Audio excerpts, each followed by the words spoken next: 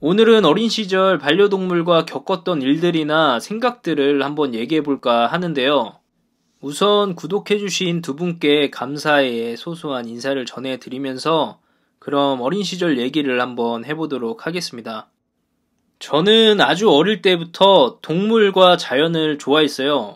방학할 때면은 항상 가족들과 강원도 산골짜기에 있는 할아버지 댁에 가서 살다 오곤 했었는데 아마도 좋아하게 된 계기도 이 때문에 생긴 게 아닐까 싶어요. 시골이 좋은 이유는 일단은 공기가 너무 맑고요. 깨끗한 물도 흐르고 그 안에서 이제 물고기도 잡을 수 있고 풀냄새나 이런 흙냄새, 비가 오면은 또 흙냄새가 굉장히 좋아요. 그래서 그런 어릴 때 시골의 정서가 너무 좋았어요. 그러다 보니까 시골은 친가 할아버지 댁인데 외가 사촌들과도 막 가서 놀다 오곤 했었어요. 너무 좋으니까요. 그러던 와중에 고등학생이 되고 고등학생 친구들한테 이렇게 이렇게 놀았다니까 친구들이 너무 좋아하는 거예요. 그래서 고등학교 1학년 때 여름방학 되자마자 친구들한테 가자고 해가지고 계획을 세워서 텐트 챙겨오는 사람, 뭐 아이스박스 챙겨오는 사람, 캠핑 용품들, 뭐 그런 것들을 챙겨오는 사람 이렇게 나눠가지고 터미널에 가서 버스를 타고 그 무거운 걸 지고 갔다 왔던 기억들이 있어요. 그러다 보니까 병아리나 햄스터, 강아지, 고양이, 다양한 동물들을 자연스럽게 접할 수 있었고 키우게 됐는데 작고 귀여운 생명체가 내가 주는 밥을 먹고 자라면서 나를 따르고 나의 모든 행동에 반응하면서 그 안에서 또 즐거움과 기쁨도 있고 성장을 통해서 변화하는 이런 모습들이 너무 신기하고 재밌었어요. 이렇게 반려동물과 유대관계를 쌓고 사랑을 주고받으며 같이 노는 것이 인생의 행복 중 하나였는데요.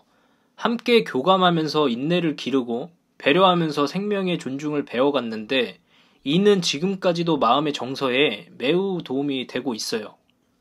앞으로도 순수하고 깨끗한 인생을 살아가고 싶은 마음은 많지만 생각보다 쉽지 않은 게 조금 현실인 것 같더라고요.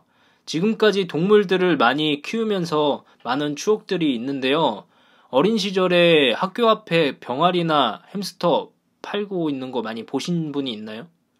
저 같은 경우도 병아리 두 마리를 데려다 키웠는데 다 키워보고 나니까 꽃닭이라는 작고 아름다운 관상용 닭이었어요. 정말 신기하게도 알까지 나왔고 세 개의 알들 중에서 하나만 부화하였지만 그 병아리가 또 닭이 되는 생명의 신비함도 경험해 봤는데 지금 생각해 보면은 쉽게 경험할 수 없었던 엄청난 축복이었던 것 같아요.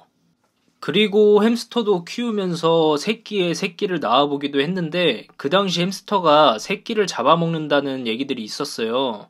근데 저 같은 경우는 운이 좋게도 제가 키운 햄스터들은 새끼를 만져도 괜찮을 만큼 유대관계가 좋아서 그런 적은 없었고요. 그 밖에 많은 동물들을 키우면서 하창 시절을 보냈던 것 같아요. 물론 그만큼 많이 떠나보내는 아픔도 있었는데 떠나보낼 때면은 수없이 많은 눈물을 흘리곤 했었습니다. 지금 돌이켜보면은 그 눈물의 의미는 좋았던 날의 추억과 잘해주지 못한 기억들, 함께 할 수 없다는 아쉬움들에 대한 복합적인 감정이었던 것 같은데 가장 큰 눈물의 의미가 아무래도 잘해주지 못한 기억이 아닐까 싶어요. 그래서 첫째, 둘째, 셋째에겐 지금껏 함께한 시간보다 앞으로 함께할 시간이 많기 때문에 더 많은 교감을 나누고 후회하지 않을 만큼 행복한 하루하루를 보낼 생각이에요. 이렇게 영상 일기를 담는 것도 또 하나의 추억이 될 것이고 이를 통해 아무래도 더 노력하게 되겠죠? 어디서 봤는지 기억은 안 나는데 동물들이 수명이 대체로 짧은 이유는 생을 살면서 배울 게 없는 깨끗한 영혼들이라서 그렇다고 하더라고요. 짐승보다 못한 사람들이 있는 걸 보면 틀린 말은 아닌 것 같아요.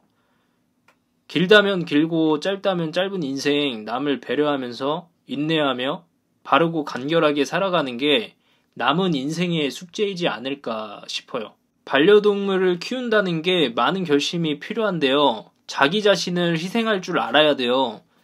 희생이라는 게 뭐 대단한 건 아니지만 물질적인 게 될 수도 있고 시간이 될 수도 있어요.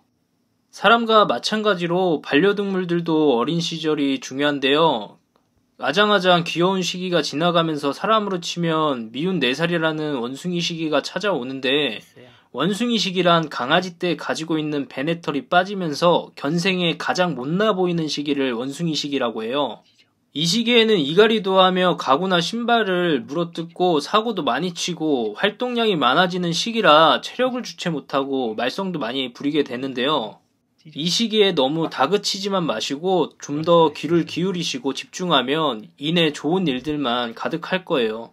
어떠한 시련이 와도 현명하게 잘 대처하시길 바라며 늘 긍정적인 사고로 실보다 득이 많은 행복한 삶이 되길 바라겠습니다.